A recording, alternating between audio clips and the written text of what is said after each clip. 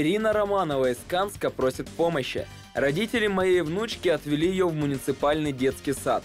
Она там провела два часа. Когда они за ней вернулись, у них потребовали какой-то документ, которого у них не было. На основании этого девочку отчислили. Законно ли это? Я полагаю, данная ситуация совершенно незаконная, поскольку, когда ребенок ходит в детский сад, муниципальное учреждение дошкольного образования, с родителями всегда заключается договор, на основании которого э, ребенок там проходит ну, программу дошкольного образования. Поэтому требовать от э, его родителей, бабушек какой-либо дополнительный документ, я полагаю, не было совершенно никаких оснований. Если ребенка а, привели бабушка, дедушка, его приняли в детский сад, его группу, то что-либо требовать, я считаю, не было оснований, поэтому в этой ситуации нужно разбираться и, скорее всего, обратиться в суд. Ксения Емельянова спрашивает, как можно вернуть комиссии по кредитному договору? Для того, чтобы осуществить защиту своего права, потребителю необходимо подать соответствующее заявление а, в соответствующую кредитную организацию, где был получен кредит, а, указать свои требования о взыскании данных платежей.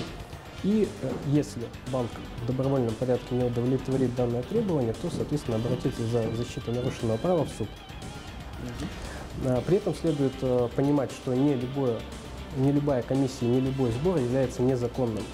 Все зависит от конкретных формулировок кредитного договора и того перечня обязательств, которые на себя берет банк и потребитель соответственно. Дмитрий Ткаченко просит комментарий.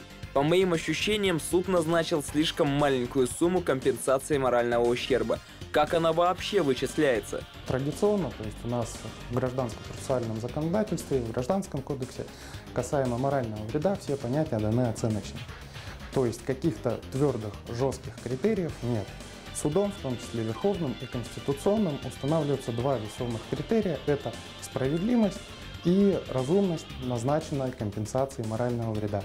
При этом суд должен учитывать личность как непосредственно потерпевшего, так и личность причинителя вреда и, как указано в законе, иные обстоятельства, имеющие значение для данного дела. То есть каких-то минимальных порогов либо иных требований не установлено. Рубрика подготовлена при поддержке Красноярского регионального отделения Ассоциации юристов России.